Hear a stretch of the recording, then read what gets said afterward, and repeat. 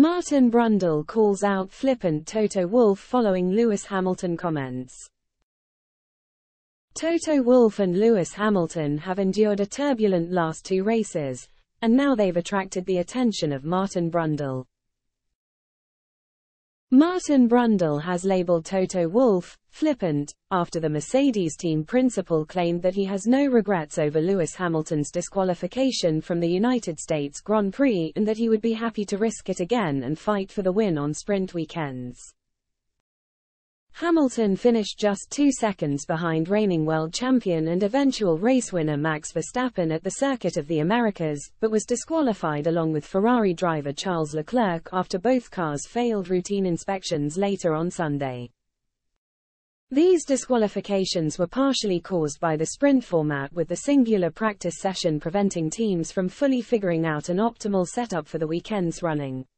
This has triggered a wider debate about the future of sprint races in F1. The problem with the sprint races is your car goes into parc fermé and you can't adjust it anymore, Wolff told Sky Sports F1 ahead of the Mexican Grand Prix. Going into Saturday we thought, hmm, that could be on the limit, but probably with a little bit of a margin. I would take the disqualification running for a race win and seeing the performance, rather than ending P3 in 25 seconds adrift. Every day of the week I would take the disqualification. These were bold comments from the Austrian who heads into the Mexican GP as a frustrated man. Hamilton has failed to score in back-to-back -back races, costing Mercedes dearly in their fight with Ferrari for second place in the Constructor Championship.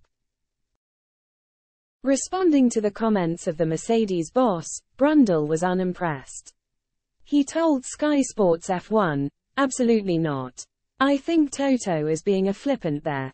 Toto and Lewis have done a very good job this weekend of saying nothing to see here. Look at all those others they must have been cheating as well or whatever.